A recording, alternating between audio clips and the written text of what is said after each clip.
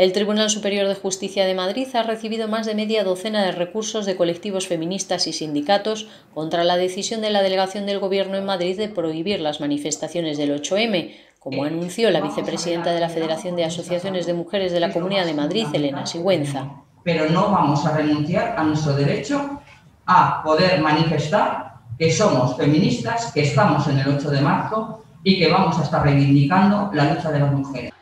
Está previsto que la sección décima de lo contencioso administrativo estudie los recursos esta tarde en tres vistas públicas. Esta polémica se produce un año después de que la manifestación en Madrid en marzo de 2020 se convirtiera en un eje de enfrentamiento político por su celebración en los primeros momentos de la pandemia.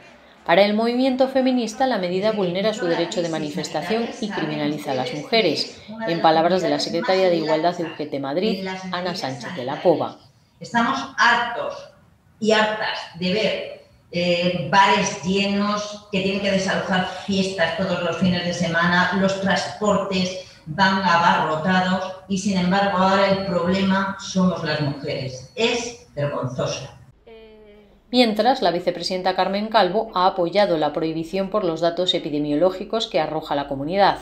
Por su parte, el PP ha respaldado la decisión, aunque ha pedido al Ejecutivo una postura uniforme, pues considera que hay el mismo riesgo en Madrid que en cualquier otra comunidad autónoma.